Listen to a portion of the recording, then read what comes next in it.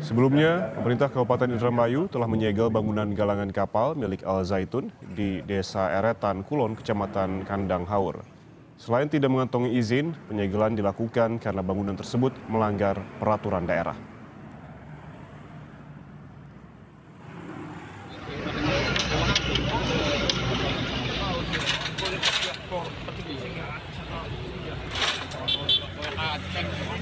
Terbaru, pemerintah Kabupaten Indramayu menyegel lokasi usaha penggergajian kayu milik Panji Gumilang. Pemkap Indramayu mengatakan penyegelan dilakukan antara lokasi usaha belum mengantongi izin.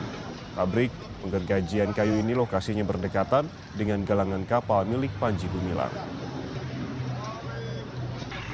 ini apa yang harus kita lakukan ya sudah dihentikan saja dulu sementara kegiatannya sampai menunggu